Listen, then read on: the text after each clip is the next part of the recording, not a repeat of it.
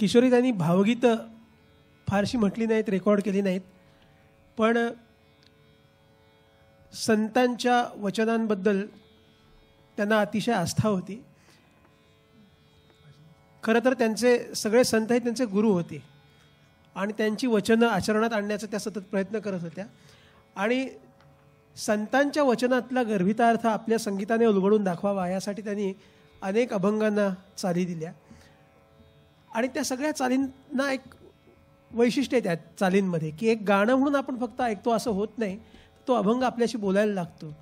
अभंगांनी जे अभंग त्यांनी निवडले त्यात सुद्धा आपल्याला त्यांची निवड लक्षात येते. तसा अवघाची अवघा तो हो शकून हृदय देवाचे स्मरण. आहे तर ते तो आपण अभ अभंग ऐकूया. तो ऐकल्यानंतर आपल्याला त्या चालीबद्दल आणि चाली लावण्याची त्यांची जी प्रक्रिया होती त्याच्याबद्दल थोडंसं सांगेन मग.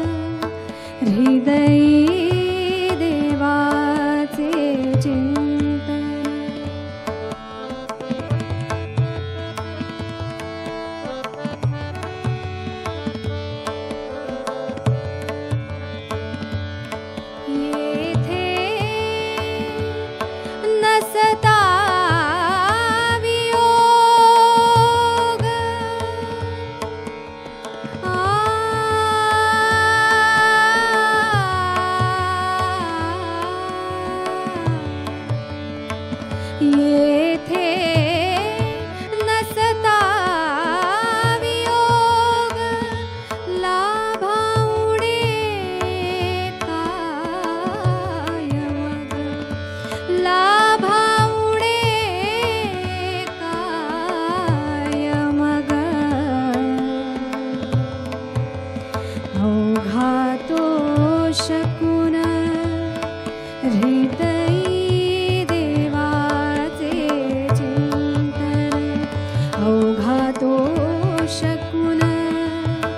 हृदयी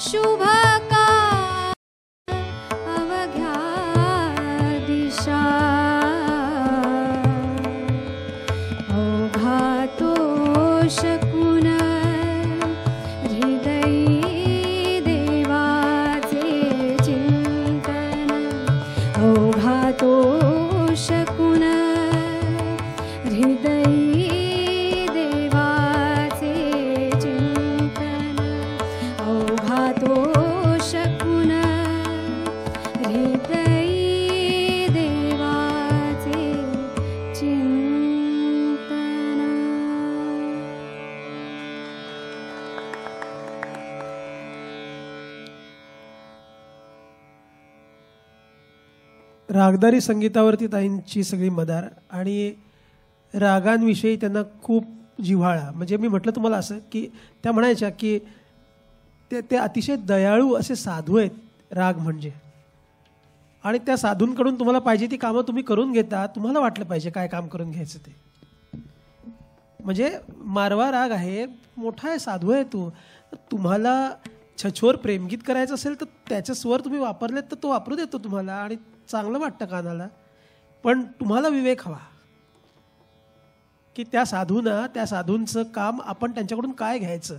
असं म्हणायच्या सुरानाही तसंच म्हणायच्या की अतिशय दयाळू आहेत ते आणि असे आहेत देदीप्यमान की कुठच्याही कोपऱ्यात ठेवावं त्यांना ते कोपरा उजळून टाकणार. तुम्हाला विवेक असायला हवा की काय करायचं आणि काय करायचं नाही. आणि म्हणून कित्येकदा काही काही गाणी ऐकताना सांगीतिक प्रकार ऐकत असताना त्या ज्या त्यांना जे क्लेश व्हायचे ते बघून म्हणजे मला असं कळत नव्हतं की ह्याच्यात काय बा वाईट आहे वावगं काय आहे ह्या गाण्यामध्ये. मला कळत नव्हतं पण त्यांचे क्लेश बघून वाटायचं की अरे बापरे काहीतरी नक्की खूप वावगं असलं पाहिजे ह्याच्यामध्ये. इतकं ते त्या रागांबरोबर त्या सुरांबरोबर त्यांचं जिव्हाळ्याचं नातं. तर मी त्यांना सहज असं म्हणजे म्हणत असे की तुम्ही रा रागदारीत इतक्या कायम असता तर रा तुम्ही अभंगांच्या ज्या चाली केल्या त्या एका रागात केली असं होत नाही. हा अभंग तुमचा यमनमध्ये आहे हा बागेश्रीमध्ये आहे हा तुमचे जे आवडते राग आहेत समजा त्याच्यामध्ये कोणता आहे हा? असं होत नाही. साधारणपणे हा आता अवघातो शकून म्हटलं तर साधारण आपण स्वरांची एक स्वरावट बघितली की आपल्याला लक्षात येऊ शकतं की एका विशिष्ट रागावर आधारित पण तो तो राग चालू आहे असं नसतं. तर असं कसं होतं? त्या म्हणायच्या की मी जेव्हा अभंगांना वगैरे चाली करते त्यावेळेला मी काहीही इकडे तिकडे बघत नाही. ही पेटी जी आहे ती मला जे सांगते ते मी करते. जसा हात पडतो पेटीवर माझा ती चाल.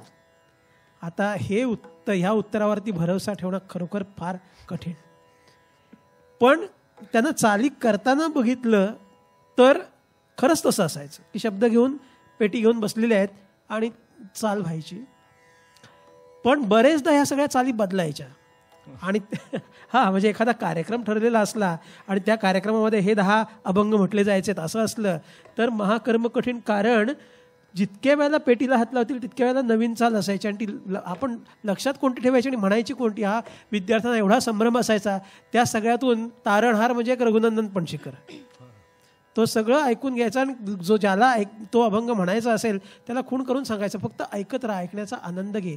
हे तुला बसवायचे असा विचार करूसुद्धा नकोस.